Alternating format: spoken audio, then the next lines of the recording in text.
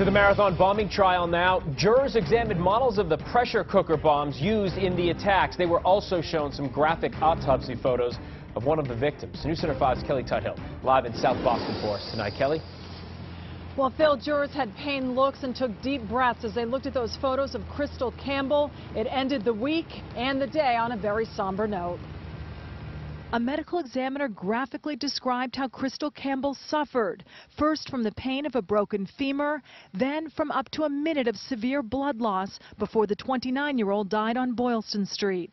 She had three pieces of metal lodged in her body, BBs embedded in her skin. That testimony came shortly after an FBI bomb expert showed the jury mock-ups he made, recreations of the pressure cooker bombs that killed three people at the Boston Marathon bombing. Jurors handed it to each other in the jury box box, some seemingly surprised at its weight, estimated at over 16 pounds. Ed Knapp explained to the jury using photos from the Boylston Street scene and the brothers' homes to describe how the bombers used everyday materials to create the devices.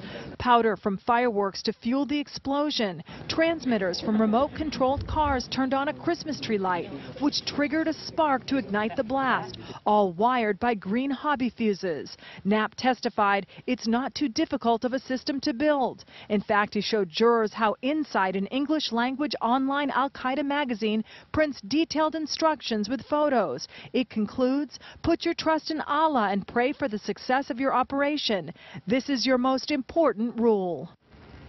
Now, the defense tried to make the point that many of the uh, purchases were made by Tamerlan, many of the tools found in his Cambridge apartment. Prosecutors reminded the jury fireworks were found in Dzhokhar's dorm room. But the question remains, where were the bombs made? We'll talk about that when our report comes up at 6. For now, we're live at federal court. I'm Kelley Tuthill, WCVB News Center 5.